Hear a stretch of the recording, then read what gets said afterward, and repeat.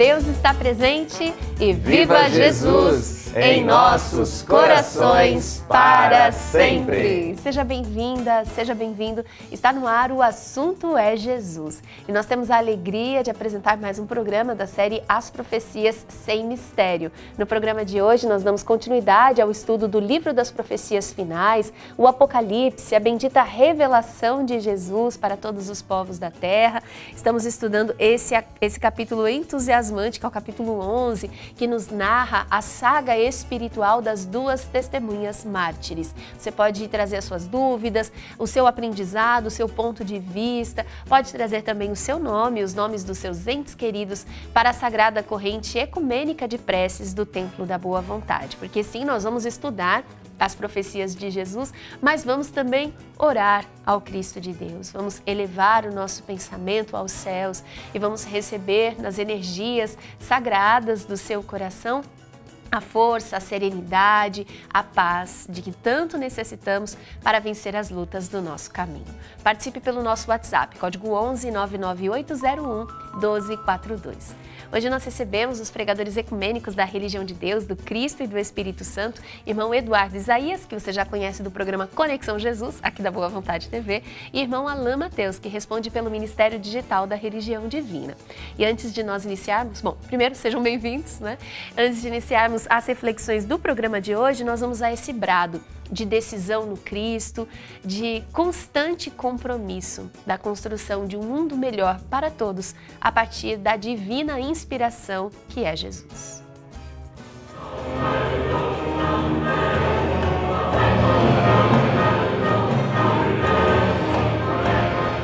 Quando o assunto é Jesus,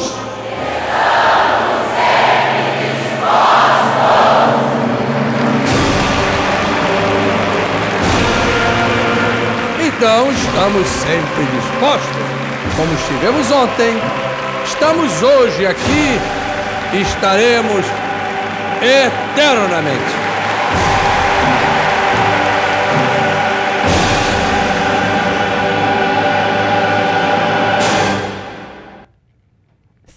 Nessas palavras do nosso querido irmão Paiva, reafirmamos a nossa disposição pelo Cristo de Deus, eternamente atentos às responsabilidades espirituais que nos unem uns aos outros, como irmãos que somos, filhos de Deus, mãe e pai de todos nós. Para iniciarmos a reflexão do nosso programa, nós vamos retomar os últimos apontamentos que foram feitos sobre esse capítulo 11 dentro dessa série. Nós vamos a Porto Alegre, no Rio Grande do Sul, porque a irmã Aline Casfuriaga, pregadora ecumênica da religião do amor universal, esteve na última edição em que estudamos as duas testemunhas mártires e ela teve aí esse desafio bem grande de resumir, trazer para a gente os principais tópicos do estudo naquele dia.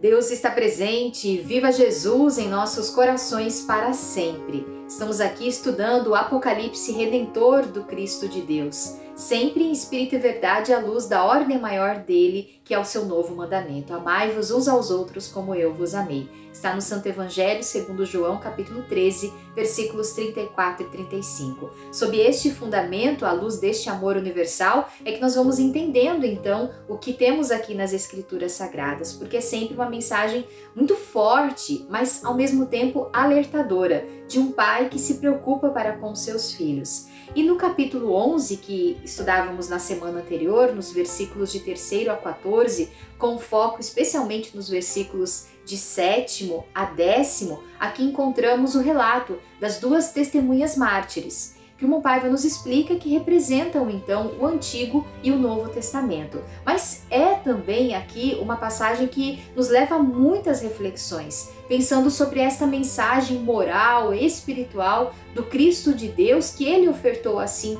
a toda a humanidade, que muitas vezes, por estarmos desatentos apenas preocupados aí com as questões meramente materiais que são necessárias, mas não são aqui as principais para o nosso processo evolutivo, muitas vezes nos distraímos e acabamos por fazer com que haja até mesmo a morte destas testemunhas mártires. E é o que nós vemos aqui, especialmente neste versículo sétimo. Essa besta que representa toda esta parte ainda inferior que nós carregamos e que muitas vezes tende a vir para nos tirar aí o equilíbrio espiritual, matando assim os nossos sentimentos, nos distraindo da nossa caminhada e dos nossos compromissos e responsabilidades espirituais que carregamos. E ainda no versículo oitavo, Alguém pode perguntar, mas no sentido literal, Jesus não foi crucificado nessas regiões.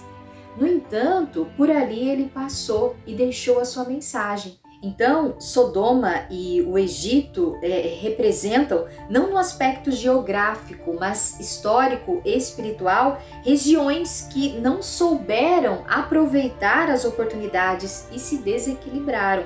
Uma no aspecto então das relações humanas, de corrompimento aí dos valores é, de ideais, nos valores da honestidade, nos valores morais, que é o caso de Sodoma, e a outra no aspecto então das relações espirituais quanto aos dons, aos princípios e a instrução para o diálogo espiritual, que aqui representa numa linguagem profética, então, o Egito. Mas neste versículo ainda nos fala dos cadáveres que ficarão estirados na praça da grande cidade, né? Estes cadáveres que ali estão, cuja a parte material então está exposta, porque a sua essência portanto, o que é espiritual, o que é eterno, esta jamais morre, né? A essência espiritual. E ali eles estão tendo a oportunidade de ver até mesmo o que foi perdido pelas suas, ah, pelas suas falhas humanas apenas. No versículo 9, a gente encontra também aqui algo muito interessante, essa questão do tempo, né? O tempo simbólico para mostrar que tem começo e fim, ou seja, que o sofrimento ele não é eterno. E os cadáveres que estão ali, né, é, à vista de todos, no sentido da contemplação, até para nos chamar a atenção e naquele momento é, conforme este relato bíblico daqueles que lá estavam presenciando tudo isso, para chamar a atenção das oportunidades que realmente foram assim perdidas. Então a gente fica imaginando se não houve ali dentro deste contemplar, né, até o, o momento de reflexão, né? Porque a luta foi grande, o empenho foi enorme, né? E as duas testemunhas ali estão mostrando que estão firmes, mesmo que aparentemente mortas, porque a, a, a vida é eterna, conforme aprendemos na religião divina, e ainda mais a vida da mensagem do Cristo, esta que fica para a posteridade. No versículo décimo, bom, aqui a alegria falsa, né? a consciência pesada, pois a mensagem que traziam as duas testemunhas mártires era do compromisso espiritual. E aqueles que ali estavam não desejavam seguir, né? Então é preciso sempre se atentar às leis divinas e não nos fascinarmos apenas pelas questões falsas da alegria passageira, do momento apenas o qual nós estamos inseridos, se ele não nos trará nenhum crescimento espiritual. Então fica aqui a contribuição diante do é, rico estudo que o irmão Paiva sempre proporciona que façamos né, a partir do fundamento Jesus, das lições do Cristo de Deus, de alerta para toda a humanidade, para que estejamos sempre espiritualmente fortes, renovados, buscando na mensagem dele a força extraordinária para que sigamos em frente. Um bom estudo para vocês que estão aí no assunto é Jesus.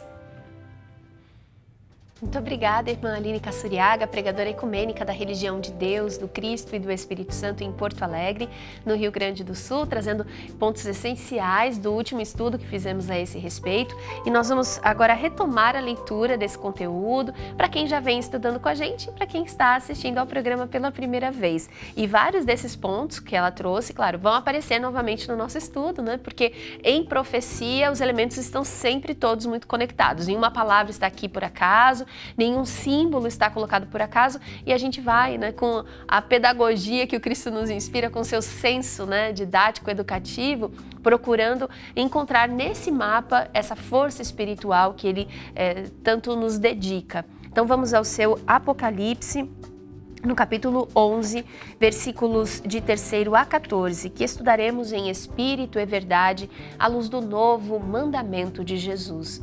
Amai-vos como eu vos amei. Somente assim podereis ser reconhecidos como meus discípulos, como está no Santo Evangelho segundo João, capítulo 13, versículos 34 e 35. À luz desse amor solidário, divino, vamos compreender a passagem As duas testemunhas mártires.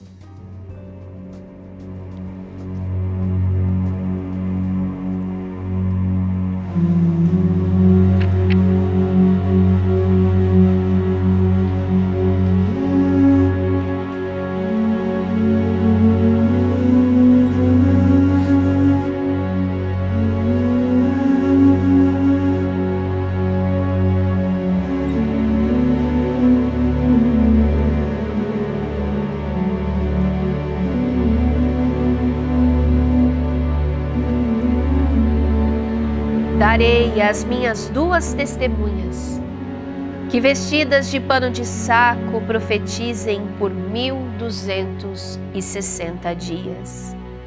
Estas são as duas oliveiras e os dois candeeiros que se acham em pé diante do Senhor da terra. Se alguém pretender causar-lhes dano, sairá fogo das suas bocas e devorará os inimigos. Sim, se alguém os quiser ofender, importa que seja morto. Elas têm a autoridade para fechar o céu, para que não chova durante os dias em que profetizarem. Têm poder também sobre as águas, para convertê-las em sangue, bem como para ferir a terra com toda sorte de pragas tantas vezes quantas quiserem. Depois que elas tiverem acabado de dar o seu testemunho, a besta que surge do abismo pelejará contra elas, e as vencerá e matará, e os seus cadáveres ficarão estirados na praça da grande cidade, que espiritualmente se chama Sodoma e Egito, onde também o seu Senhor foi crucificado. Então, muitos dentre os povos, as tribos, as línguas e as nações contemplarão os cadáveres das duas testemunhas por três dias e meio e não permitirão que seus corpos sejam sepultados. Os habitantes do mundo se alegrarão por causa da morte deles. Realizarão festas e enviarão presentes uns aos outros, porquanto esses dois profetas atormentaram os que moram sobre a terra. Mas, depois dos três dias e meio, um espírito de vida vindo da parte de Deus entrou neles, que se ergueram sobre seus pés, e àqueles que os viram redivivos sobreveio grande medo. E as duas testemunhas ouviram grande voz vinda do céu, dizendo-lhes: Subi para cá! E se elevaram ao céu numa nuvem, e os seus inimigos as contemplaram subindo. Naquela hora sobreveio grande terremoto e ruiu a décima parte da cidade. E morreram nesse terremoto sete mil pessoas ao passo que as outras ficaram sobremodo aterrorizadas e deram glória ao Deus do céu. É passado o segundo ai, mas eis aqui o terceiro, que cedo virá.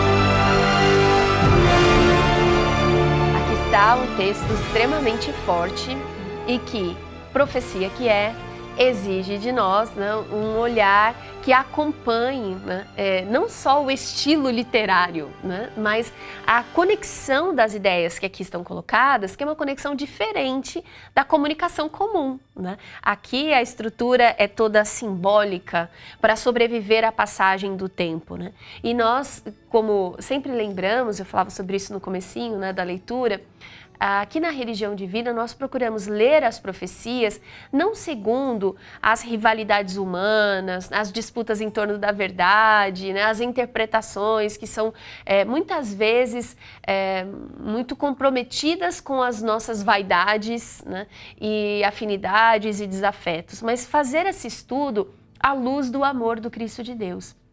Então a gente vinha refletindo sobre os versículos a partir do terceiro, né, os anteriores aos que vamos estudar hoje, observando que essa fala né, tão forte a respeito dessas duas testemunhas não significa é, literalmente que elas praguejam contra os povos da terra e que elas trazem morte por onde vão, mas é uma forma simbólica de atestar a força daqueles que profetizam desde que o mundo é mundo nos alertando para a cultura de morte que nós mesmos temos erguido. Né? Inclusive as referências que são feitas, por exemplo, né, quando essas testemunhas são assassinadas, elas ficam lá expostas né, para apreciação pública. Festejos são feitos diante da morte dessas pessoas santas, quer dizer, é, é um absurdo, né? Festejar a morte de qualquer pessoa, é claro. Mas, e, e essa referência, né, Sodoma e Egito, como espaços onde Jesus foi crucificado, por exemplo, isso já mostra quão simbólica é a linguagem, né? Porque Jesus não está falando de Sodoma ou do Egito, literalmente, mas de evocações simbólicas que essas eh, sociedades, especialmente da antiguidade, né, podem fazer, nos ajudando a perceber, inclusive, Eduardo, quantas vezes Jesus tem sido crucificado, né, é, historicamente, pelas, pelas nossas desatenções aos temas da bondade, da justiça, do amparo, que são as coisas que essas duas testemunhas mártires profetizaram. E o martírio delas vem disso, né? De terem perseverado tanto num mundo que hostiliza a pregação e a prática da bondade. Né? E infelizmente ainda tem sido esse o retrato. É, é interessante nos atentarmos a, a dois números aqui que essas duas testemunhas, elas conseguem ali testemunhar e profetizar por 1260 dias. Elas ficam ali aparentemente mortas por três dias e meio. Então a, a, condição, a, até mesmo essa relação numérica, ela é bem desproporcional, mostrando que o trabalho delas foi feito. Tanto é que aqueles que estão é, aqui estudando podem se atentar ao fato de no versículo 5 6 é, verem aqui de uma certa forma, mostrar o poder dessas duas testemunhas mártires, mas depois elas serem mortas. Mas a grande questão é, elas são mortas, entre aspas, depois que elas acabaram de dar o seu testemunho. E há um, uma questão também, porque você lembrava, inclusive, o sacrifício de Jesus é, por toda a humanidade. Muitos acharam que o, o, aniquilaram, que o venceram, mas a verdade é, se não tivesse acabado o testemunho do Cristo, se ele ainda tivesse muito mais por fazer, e óbvio, o trabalho não estava todo feito, acabado, mas ali a missão do Cristo estava toda ela cumprida, para aquele propósito, naquele tempo. E aí sim vem o momento da, do, de, da, dessa manifestação maior das maldades humanas que fazem prevalecer por um tempo bem ínfimo, né? São é, ali, ao terceiro dia, não uhum. podemos nem contar três dias inteiros, uhum. Jesus ressuscita. Então acontece novamente aqui para mostrar isso. Às vezes a gente tem a sensação de que a maldade ela impera por um tempo muito grande, mas não é o grande, a, a, grande questão é, o pouco tempo que impera parece tempo demais. Aliás, Sim, porque traz deveria dor, ser né? nenhum, né? Exato. E onde a gente sofre, o tempo é lento. E, e esse sofrimento, ele, ele, ele causa, um, um, aliás, consequências que não são só daquele tempo, né? Tanto que a gente vê até hoje muitos desses sofrimentos, não apenas daquele da primeira vinda visível do Cristo de Deus, mas muitos outros, de muitos outros tempos, ainda como reflexos da nossa vida diária, né? É interessante que a gente percebe, né? Aparentemente para a humanidade elas foram mortas, ficaram derrotadas. expostas mortas, derrotadas. Mas a gente volta no versículo 4 e entende aqui essa afirmativa. São duas oliveiras, dois candeeiros que se acham de pé diante do Senhor da terra. Elas podem aparentar uma morte diante da humanidade que se afastou dos ensinamentos divinos. mas diante do Pai Celestial, diante daqueles que estão atentos a esses ensinamentos e essa profecia, elas permanecem de pé. Tanto que o Cristo de Deus nos ensina que aquele que o testemunhar diante dos homens, ele sempre testemunhará essas pessoas diante do Pai que está no céu.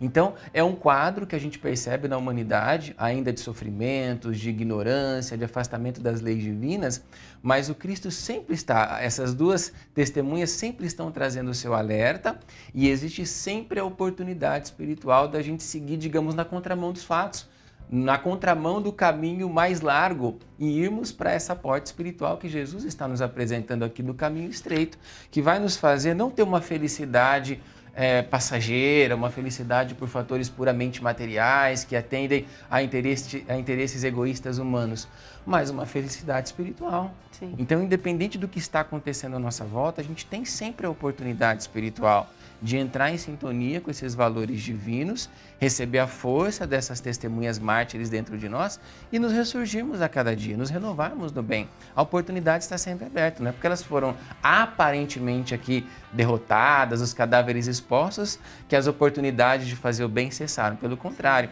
estão sempre abertas a todos nós em humanidade.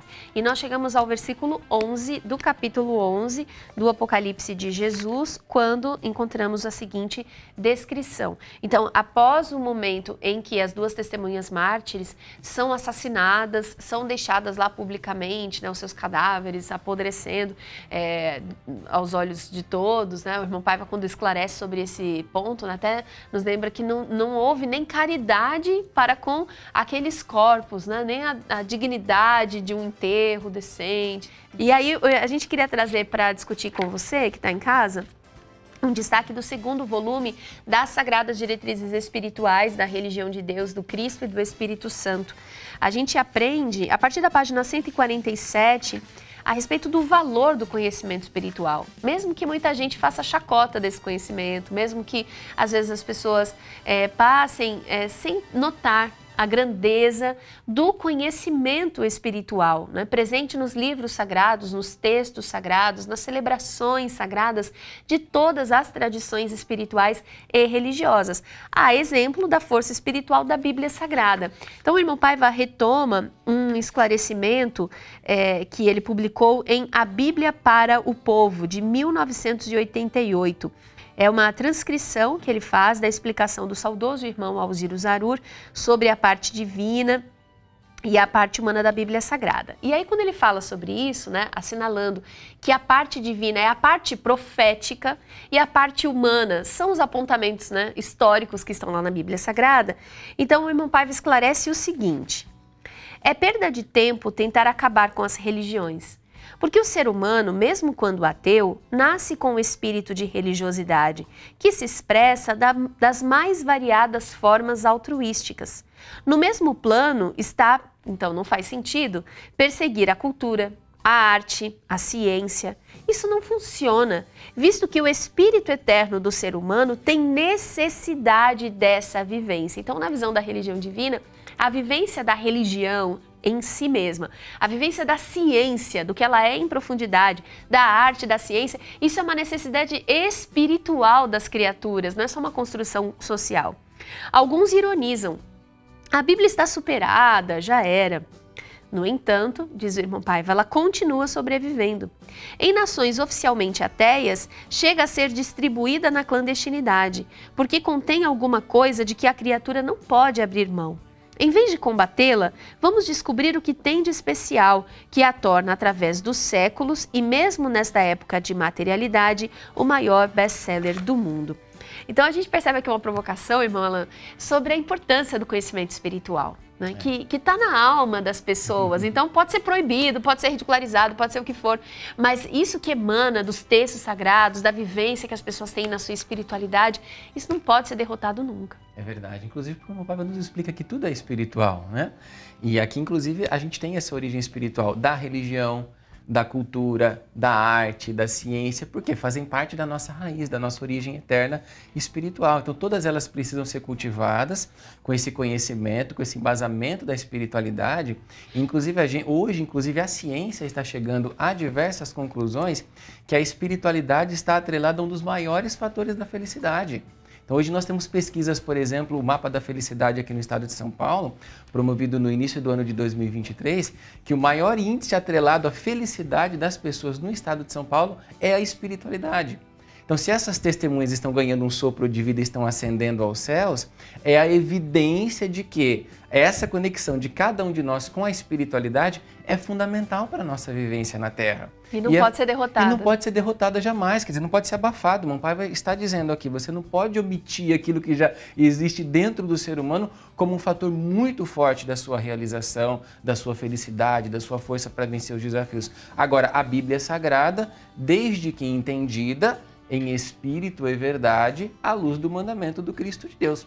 Esse espírito de vida que as duas testemunhas mártires, mártires ganham para se elevarem é o espírito desse entendimento ecumênico, abrangente e profundo espiritualmente, porque até então estavam mortas por, ser, por esses ensinamentos serem entendidos ao pé da letra. A partir do momento que esses ensinamentos são compreendidos na sua essência abrangente, verdadeira e eterna, elas ganham todo o destaque, toda a evidência para nós. Bom, você sabe que tem sempre um programa na semana e ele estreia às 5 da tarde, na quinta-feira, em que aqui no Assunto é Jesus a gente faz o estudo sequencial do Apocalipse. Então, este é o programa em que estamos dando continuidade a esse estudo. Estamos no capítulo 11, versículo 11, indo para o versículo 12, irmão Eduardo Isaías, porque é, aqui no versículo 11 a gente descobre que essas duas testemunhas mártires que representam é a força da profecia de Deus se levantando desde desde sempre, né, nos diversos povos, nas diversas culturas, em todos os tempos, para nos acordar para os nossos deveres espirituais. Elas tinham sido martirizadas, tinham sido assassinadas, aparentemente estavam mortas, mas eis que um espírito de vida vindo da parte de Deus as levanta, as levantam e elas ouvem uma voz do céu que as convoca para uma realidade melhor. Né? Interessante porque é, nós falamos aqui já diversas vezes, é sempre bom lembrar, que há uma interpretação importante que dá conta de que essas duas testemunhas mártires são conteúdo divino que se encontra tanto no Antigo quanto no Novo Testamento, mas isso também não exclui a força do trabalho de tantas mulheres e homens ao longo da história sendo representantes dessas testemunhas mártires, ou seja, desses, dessas pessoas que se mantiveram firmes no seu propósito e que no trouxeram seu. Terra, no seu testemunho trouxeram à Terra grandes avanços, não apenas no âmbito religioso, mas muitos foram representantes dessa, dessa, dessa vanguarda na ciência, na arte, nos esportes, na sociedade no geral.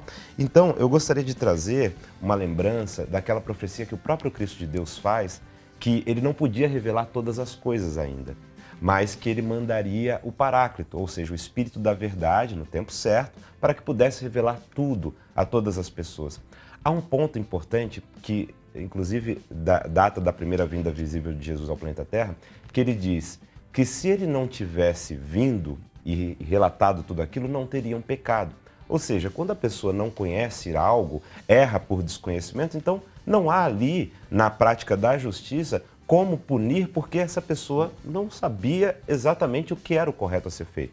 Agora, a partir do momento que você foi lá explicou, olha, é assim, isso pode, isso não pode, aquela pessoa passa a ser responsável pelo conhecimento que agora tem, portanto, passa a ter o erro, o pecado, como parte da sua própria responsabilidade. Então, ela responde por si.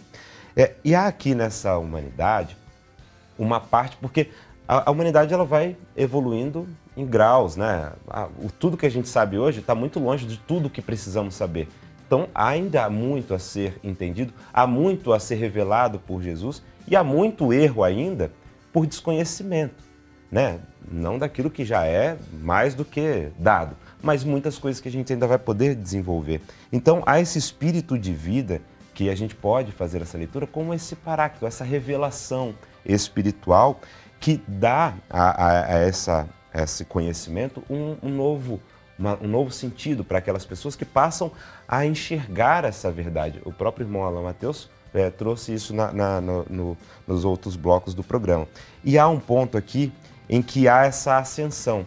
E eu, eu imagino, inclusive, que junto a, essas, a esse conhecimento que ascende, também aqueles que conseguiram acompanhar, não apenas em reconhecimento e entendimento, mas em obras. Porque o irmão Paiva faz questão de lembrar e a gente precisa muito, muitas vezes se recordar disso. Há dois mil anos, Jesus veio há mais de dois mil anos, e muita gente acha que nada mudou. Os mesmos errantes daquele tempo continuam errando nas mesmas coisas. Não.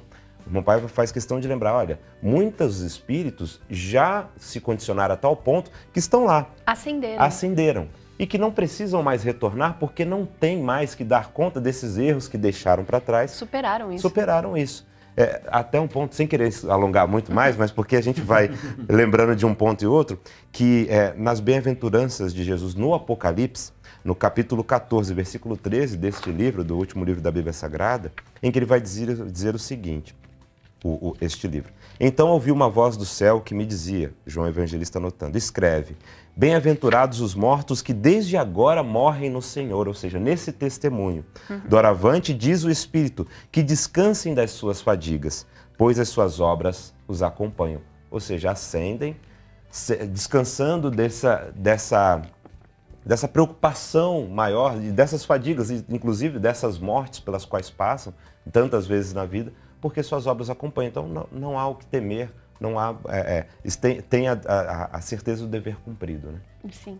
Com certeza. A gente percebe aqui, inclusive nos versículos 11 e 12, que quando essas testemunhas elas recebem esse espírito de vida, elas são elevadas ao céu numa nuvem, os adversários, os contrários, os inimigos são tomados de grande medo e as contemplam subindo. Quer dizer, estes também têm a oportunidade, por mais que tenham perdido tempo, por mais que tenham se apegado às coisas materiais, mas como o Eduardo muito bem comentou, Jesus está incessantemente oferecendo a sua oportunidade espiritual de avanço para todos nós. Se já existe uma leva de espíritos que alcançaram a sua autonomia, o seu engrandecimento espiritual e não precisam mais reencarnar, não precisam mais estar na matéria para evoluir, podem continuar progredindo do mundo da verdade, outras vagas se abrem nessa escola que é a terrena. Então, aquele espírito que está errando, ele tem a oportunidade também de conhecer, de ter acesso, de ver como esse conhecimento espiritual se evidencia e como ele também pode se render trilhar esse caminho. Aí eu vou até avançar um pouquinho no versículo 13, pode ser, Paulo, uhum. e quem nos acompanha. Que aí naquela hora vem grande terremoto, né? Quer dizer, vem grande abalo nas almas. Uma transformação. Uma grande transformação, quer dizer, um grande chamado, seja pelo amor, seja pela dor. Mas o chamado vem. E aí a oportunidade de cada um fazer a sua escolha, né? Ainda que tardia, há a oportunidade do arrependimento espiritual, uhum. há a oportunidade da redenção, da melhoria incessantemente oferecida a todos nós, indistintamente pela providência divina. O, o que o Alan falava do versículo 12, eu me lembrava de quando eu era criança, e alguém falava, Se não fiz, quem não fizer a tarefa não vai ganhar tal, tal benefício, né? E aí depois que você vê todo mundo ganhando e você não, você fica naquela, poxa, na próxima eu não vou dar, não vou ter o mesmo problema. E é, e é interessante como essa, essa parte de, de redenção, quando você vê é, pessoas, porque o exemplo, ele é importante. Uhum. Porque, infelizmente, a gente vive num mundo em que você, há um, uma sensação de impunidade uhum. e até mesmo de que quem luta pelo bem talvez não esteja tão, sendo tão reconhecido quanto aqueles que, infelizmente, optam por outros caminhos. Mas a grande realidade é, é outra. Que esses espíritos que lutam pelo bem têm a sua recompensa de fato, e essa é perene. Eles descansam de suas fadigas, não, não tem que lidar com isso que é uma, uma, uma, glória passageira, vai ficar pelo caminho. E depois fica uma frustração dessa, desses que vão se ver mortos, né? Não, não no sentido é, é, é de que Material. acabe alguma coisa, porque a morte não existe, mas do remorso, hum. da culpa, dessa segunda morte que, que é muitas vezes se vê sem o sentido de existir. É, e é, é esse, isso que a gente precisa evitar, né? Sim. Por isso que esses, esses, é, essas testemunhas mártires, e que a gente precisa pegar esse exemplo também, profetizam durante tanto tempo. Uhum. É, até há uma palavra aqui que eu achei muito interessante que é utilizada. Atormentaram a terra. Eles, eles de, tanto, de tanto falarem do que é certo, eles atormentam no sentido benéfico. Olha, não vou deixar você, não vou deixar de fazer minha parte, porque depois ninguém vai poder dizer que não sabia o que precisava ser feito. Né? Sim. E aí quando a gente pensa né, nessas duas testemunhas como a vanguarda do pensamento profético, né, é uma coisa que eu considero muito valiosa na interpretação que a religião de Deus, do Cristo e do Espírito Santo faz sobre o dom da profecia é que na nossa leitura, no nosso entendimento, a profecia não se manifesta apenas no ambiente é, chamado religioso. Né? A profecia, essa inspiração do céu, essa visão do futuro, essa capacidade de antever com precisão aquilo que se dará, essa capacidade de ler as leis divinas, que a gente também pode chamar de leis naturais, né? ela não é exclusividade, ela não é uma concessão dos privilegiados, né, aparentemente, né, daqueles que ocupam determinados lugares no, no, nos movimentos religiosos, né. Então, o, o, por exemplo, o esclarecimento que o irmão Paiva faz, exaltando os profetas laicos, ele chama assim aqueles cientistas corajosos, né, que têm se dedicado a trazer o futuro, né, a trazer iluminação para a nossa consciência, mesmo quando sejam perseguidos até mesmo pelos seus pares, né? Quantas vezes isso? Ele até fala, por exemplo, dos primeiros cientistas que denunciaram as terríveis tormentas causadas pelo tabaco, foram desmoralizados, foram perseguidos, foram desautorizados, mas eram profetas, né? tiveram coragem, se levantaram. Também naquele contexto foram martirizados, mas não foram mortos. Hoje a gente está aqui, né? E com a ação do Espírito Santo que não se manifesta no nosso entendimento só nas igrejas e altares, mas também nos laboratórios, hoje ninguém, hoje isso não é mistério para ninguém. Todo mundo sabe. Esse conhecimento se elevou e transformou a sociedade, né? Claro que a luta ainda é grande, né? Muita gente está lutando contra a dependência é, e, e todos os males ligados ao tabagismo, mas só para a gente perceber isso, né? Que quantas são as vozes que os céus utilizam para nos amparar. E aí eu fico pensando também na necessidade de nós não sermos os perseguidores daqueles que se levantam, porque às vezes, irmã Alain, é, essa voz profética ela vem de uma maneira que a gente não espera, né? Às vezes é uma avó, né? Às vezes é um amigo, às vezes é alguém que se levanta e, tem coragem, né, de nos alertar e falar, olha, você já prestou atenção nessa atitude, né? Como será o seu futuro se você é, não refletir sobre o que você está fazendo agora? Né? Pode ser difícil ouvir esse alerta, né? É verdade. E aí a gente vai fazer o quê? Vai ridicularizar? A gente vai perseguir essa pessoa? A gente vai comemorar quando ela se calar, se é que ela se calará com o poder de Deus? Deus, não. Ou a gente vai ouvir essa voz né, e respeitar esse conhecimento profético que está se manifestando perto de nós. Né? É verdade, precisamos dar atenção né, a essas vozes que se apresentam, porque inclusive a voz do nosso próprio anjo da guarda, né? É. E a gente sabe que o anjo da guarda, quando ele não consegue atuar diretamente pela nossa própria intuição, né, nos inspirando pensamentos de melhoria, de renovação, de auto-reflexão, daquilo que a gente pode melhorar a cada dia, ele vai se valer de pessoas próximas. É. Ele vai se valer de um amigo, de um professor, de uma mãe, de uma avó, para ser esse profeta, essa profetisa realmente para nos trazer essas mensagens importantes para a nossa vida. Quer dizer, a providência divina vai se utilizar dos mais diversos recursos, dos mais diversos meios para encaminhar a humanidade né, na direção das leis divinas e, portanto, da sua felicidade espiritual. Não é à toa que o Mompave intitula esse livro, onde ele transcreve o Apocalipse do Cristo de Deus como somos todos profetas. Quer dizer, todos nós temos essa condição não só de antever o nosso futuro, né, de, de recebermos essa projeção daquilo que nós estamos semeando agora e a própria consequência que a gente vai arcar, mas é aquilo que ele fala, de construirmos o nosso destino no bem, é. de apostarmos a construção do nosso destino nessa renovação espiritual do amor. Não Porque temermos plantar não o amor. Não temermos, né? né? bradar, viver o amor. Aí a gente encarna a própria profecia, né? a gente acredita que a gente pode fazer melhor. A gente acredita que nós temos a parte divina dentro de nós e nós vamos em frente. E aí a gente passa a, a profetizar também no sentido de acreditar no nosso próprio valor uhum. de fazer o bem, no nosso, na nossa própria condição de transformar as realidades da nossa vida e ajudar as outras pessoas a transformarem as suas realidades para melhor. E aí a gente começa a profetizar, profetizar na direção do amor, da esperança, do companheirismo, da capacidade de superar qualquer aparente impossível que existir no nosso caminho. Então, a, a profecia ela vem dessa coragem, né, dessa humildade corajosa, inspiração daqueles que souberam antecipar esses fatos na direção do cumprimento né, da, da, profecia divina aqui na humanidade e também com a coragem daqueles que souberam caminhar nessa direção, realizar, dar passos nessa direção daquilo que está sendo preparado espiritualmente para todos nós de vitória da humanidade no bem. Então é essa coragem, não só de antever tudo isso, mas de dar os passos nessa direção e de entender que nós somos muito apoiados, que a providência divina confia muito nessa capacidade nossa. É, e eu, talvez o que mais fique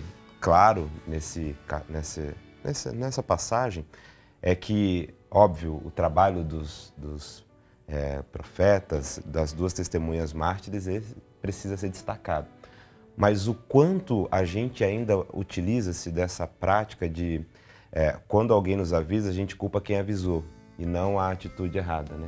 O, o medo da verdade ou mesmo a nossa fuga das verdades. E o quanto é perigoso isso que a gente tem, viu aqui, é, de a gente tirar as referências morais, éticas do nosso dia a dia, uhum. em que esse descambo para as festas e tudo mais, que aqui está, está colocado, né, no sentido de, de perder-se um pouco de quais são as nossas referências morais, do, do, do respeito, da dignidade que precisa ser conservada entre os indivíduos, quando a gente tira essas referências, o quanto isso vai aos poucos se tornando cada vez mais é, é perdido. Uhum. E aí depois a gente vê as, as, terríveis consequências, porque tudo isso aqui não é assim, ah, agora vocês vão ver. Os, porque os, os, os, as duas testemunhas mártires, elas não se levantam para chegar, ah, agora vocês vão ver, a gente vai se vingar de vocês. Uhum. Eles levantam-se, põem-se de pé. Para mostrar, ó, a, a, mensagem não morreu. Não Continua morreu. Continua válida. Acendem. E assim, não, não é que eles é, ignoram uhum. aquele povo que, a, a, quem eles pregaram há tanto tempo e por isso amavam, né? E amam, continuam. Mas porque a grande realidade é a seguinte: vocês fizeram a escolha de vocês. E aí agora, aqueles que fizeram por merecer ascendem, né? No sentido moral também. Porque, é por exemplo, você falava dos, dos profetas laicos. É, a realidade, por exemplo, do meio ambiente. E o quanto a gente ainda vê essa como uma realidade. Não, mas tá. É, o pessoal fala aí, mas é quase como se fosse uma notícia meio que onipresente, mas hum, será que isso é real mesmo? A gente não se dá conta da verdade absurda com a qual a gente está convivendo. Uhum. Então, assim, você, você olha, ó, o prazo de validade é 50 anos e, e, cada vez mais diminui. O prazo de validade é 20 anos. E você, não, não, vamos ver, a gente vê para quando der, né? E, e a, a, grande questão é, será que a gente vai esperar chegar a esse ponto? A dor. A dor. E então não podemos mais lidar com esse tipo de atitude, porque é, talvez o que mais me chama a atenção é isso: o quanto a gente, com medo da verdade, busca é, calar quem vem avisar e não buscar mudar aquilo que tem promovido o prejuízo que, que a gente está vendo que está bem batendo na porta. Né? É porque por mais que a gente tente abafar, é como se fosse uma bola, né? Que você quer colocar embaixo d'água e segurar embaixo d'água com toda a força, mais forte ela volta. Então a gente tem que entender que essa cobrança ela vem de tudo da nossa própria consciência. O pai até menciona, né, consciência protestada em cartório, né, porque o medo, porque a fuga, porque querer abafar esses ensinamentos divinos eles estão existindo dentro de nós em primeiro lugar. Então, antes da gente estar tá abafando qualquer doutrina, qualquer pessoa, qualquer mensagem, a gente está abafando a parte melhor que existe dentro da gente. A gente está ceifando essa oportunidade espiritual de revelar o melhor que existe em nós. Né? Então, realmente, é, é, é muito importante a gente dar atenção para tudo isso, né? E dar atenção para que aqueles que estão à nossa volta, servindo de instrumento espiritual para a gente crescer, para a gente progredir e para a gente olhar para nós mesmos, mesmos com esse senso crítico de humildade corajosa e ver o que precisa ser melhorado, uhum. a gente precisa ofertar essa oportunidade espiritual para a profecia de cumprir esse grande papel de redenção da humanidade, Isso. das mais diversas formas. E, e não esperar a dor né, como esclarecimento da nossa alma. A sequência, né, os versículos 13 e 14, falam desse sofrimento. Né? O versículo 14 é. fala que é passado o segundo segundo ai e o terceiro se aproxima, né? E não faltam referências a esses ais como alusões em determinados tempos históricos proféticos a guerras mundiais, a conflitos generalizados, né? E aí eu queria trazer um destaque, a gente já está terminando né, esse bloco, mas é um conteúdo muito importante que está aqui na página 324 das Sagradas Diretrizes Espirituais da Religião de Deus, do Cristo e do Espírito Santo, no terceiro volume, quando o irmão Paiva escreve assim: mesmo que o mundo, apenas para argumentar, aparente estar em paz, os corações ainda estão armados e os explosivos psíquicos estourando dentro deles. O que tem de ser desativado são os explosivos do sentimento mal conduzido. Ele muitas vezes já explicou, né? As armas né, terríveis, elas não atiram sozinhas. E né? nem surgem por espontânea. É, geração espontânea. Geração espontânea. Então elas são primeiro estruturadas no nosso interior. Ele precisa ser desarmado antes. Olha a importância da profecia desarmando esse sentimento mal conduzido. E ele continua: para isso, a religião do terceiro milênio lançou o ecumenismo irrestrito. Então, a união de todas as pessoas, sem nenhuma restrição. cuja base é o amor do mandamento novo de Jesus. Vamos às palavras do Cristo. Amai-vos como eu vos amei. Somente assim podereis ser reconhecidos como meus discípulos. Ninguém tem maior amor do que este, doar a própria vida pelos seus amigos. Evangelho segundo João, capítulo 13, versículos 34 e 35 e capítulo 15, versículo 13. Então, fica uma convocação muito importante para nós aqui, né? É, para desarticular essa cultura de indiferença, de crueldade, de violência, em que estamos todos armados por dentro e aí ficamos armados eh, nas relações eh, sociais e, e políticas e, e globais, a gente precisa aprender a mudar o tom da nossa própria intimidade, né? iluminar aquilo que sentimos com esse critério que Jesus nos dá, nos dá aqui, amar como Ele amou e ama. E aqui é uma convocação muito importante que está no regulamento dessa lei bendita. Somente seremos reconhecidos como discípulos do Cristo, né? É, se tivermos coragem de amar dessa forma. Amar ouvindo, compreendendo, respeitando e lutando pela dignidade do nosso irmão, seja ele quem for, seja qual for a sua tradição, a, a sua filosofia de vida, a cor da sua pele, o seu lugar social. É, cuidar, cuidarmos uns dos outros como irmãos que somos, filhos de Deus, mãe e pai de todos nós e agradecemos muito a sua participação no programa de hoje. Agradecemos também aos nossos convidados, por favor, voltem outras vezes e nós unimos os nossos corações para entoar este mantra sagrado da religião divina que aprendemos com o irmão Paiva. Com Jesus venceremos sempre, sempre e sempre. Deus está presente. Viva Jesus em nossos corações para sempre.